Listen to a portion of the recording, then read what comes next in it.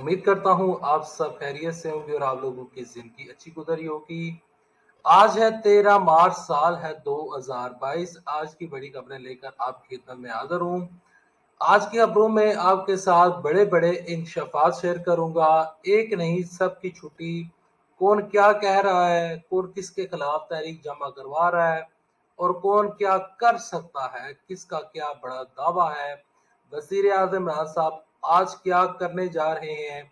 इसके अलावा पाकिस्तान में आने वाले दिनों में क्या हो सकता है? तमाम तो चीज़ें आपके साथ वीडियो में डिस्कस करूँगा। लेकिन डिस्कस करने से पहले, आगे बढ़ने से पहले आप सबसे छोटी सी गुजारिश है कि अगर आपको ये वीडियो और ये चैनल अच्छा लगा तो इस वीडियो को लाइक कीजिएगा, चैनल सब्सक्राइब कीजिएगा साल के नोटिफिकेशन में दबाइएगा ताकि जो आने वाले वीडियोस हैं, आप उनको मिस ना कर सकें।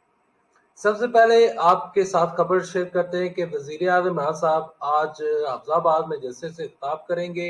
एक तो ये खबर है, दूसरी खबर ये है कि वज़ीर आज़म इमरान साहब जो है, वो पहला ओवरसीज कन्वेंशन जो कि मुनद किया जा रहा है, उसमें भी वो खिताब करेंगे। और ओवरसीज जो कन्वेंशन है, ये ओवरसीज पाकिस्तानियों के लिए फ़ायदा मंद साबित होगा। बढ़ते हैं कुछ मजीद खबरों की जानब। खबरें कुछ यूँ कहती हैं कि जानबदार स्पीकर कौमी असम्बली का अहम इजलास की सदारत ना करे। अपोजिशन जमातें। अपोजिशन जमातें इस टाइम ना सिर्फ़ इमरान खान साहब के पीछे पड़ी हुई हैं, बल्कि वो स्पीकर असम्बली असद कैसर और डिप्टी स्पीकर कासम सूरी के खिलाफ भी महाज पर खड़ी हो गई है।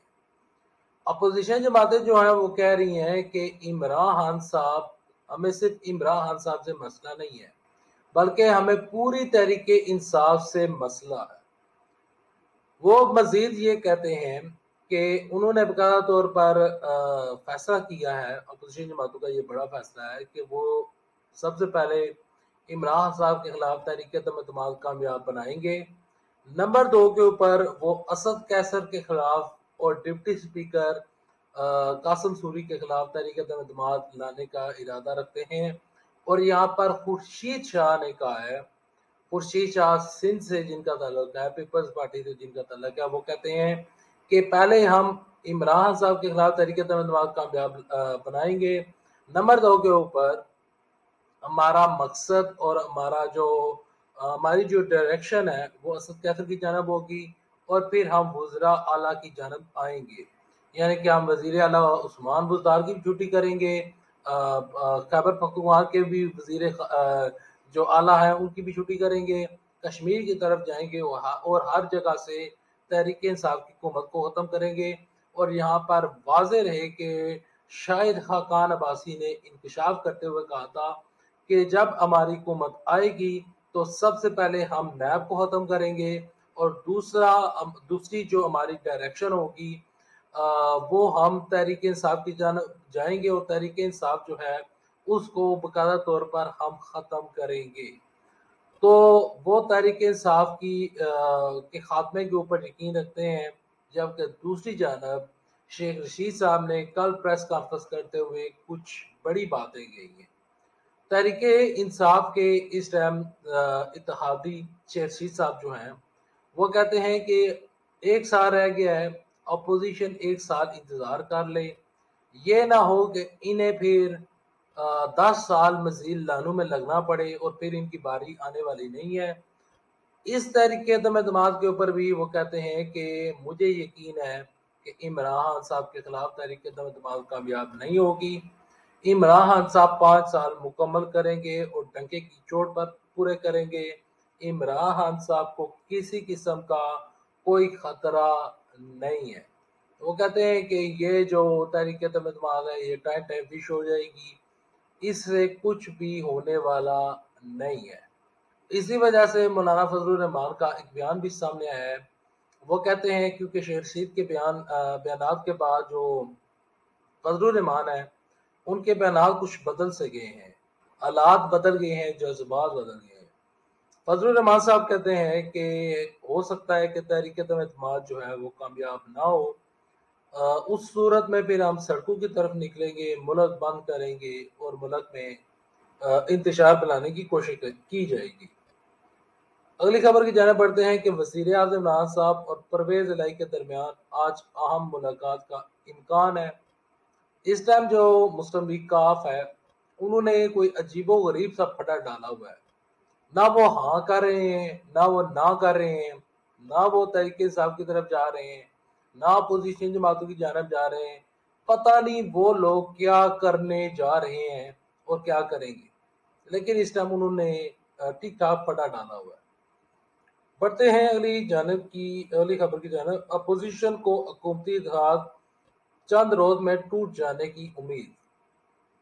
यानी कि इनकी तहरीक अदम अतमाद जो है उनकी जो जिस चीज़ के ऊपर ये तहरीक अदम मुनसर है और जिस चीज़ के ऊपर ये लोग इसार कर रहे हैं, वो तहरीक इंसाफ के खादियों के ऊपर है। अली खबर की जाना पड़ते हैं। वजर साहब का पार्टी से गद्दारी करने वालों के खिलाफ कार्रवाई का ऐलान।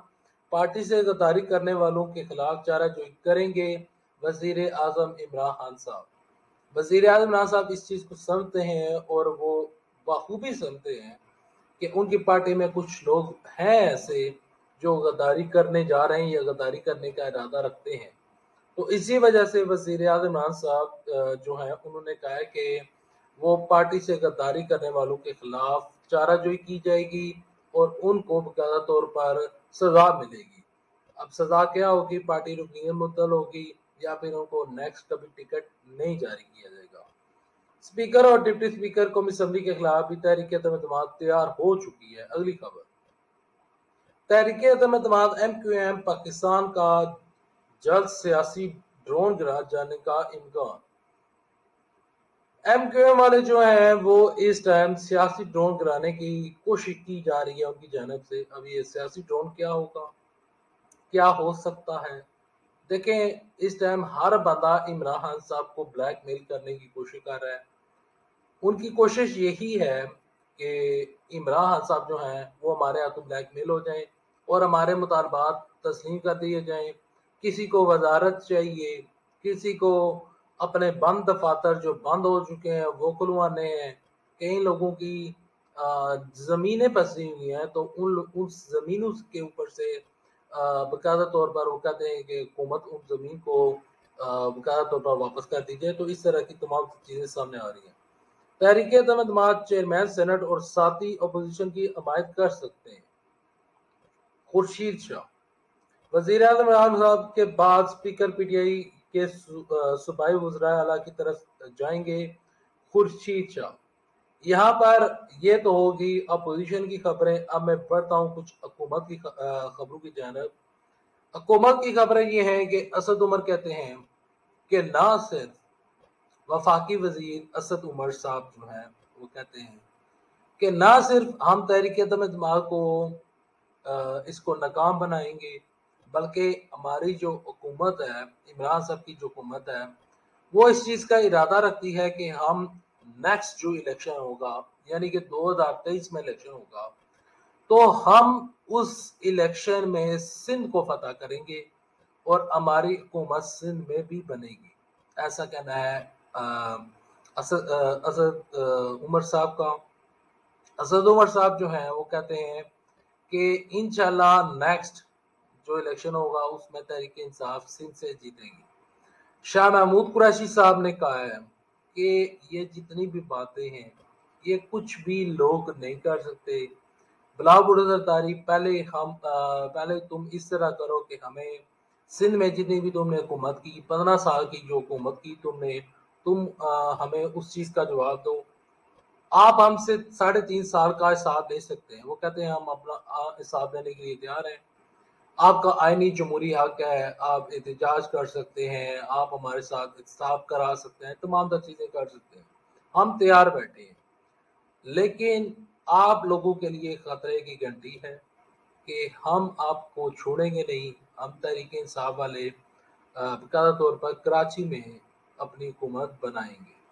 अब बनाएँगे या नहीं बनाएँगे, या बन पाएगी या नहीं बन पाएगी, ये एक ऐसा सवाल है जिसका जवाब मैं अभी दे नहीं सकता और ना इस सवाल का जवाब तहरीक सावलों के पास है लेकिन इन शफात हर तरफ़ हर तरफ़ से हो रहे हैं और इन शफात होते रहेंगे।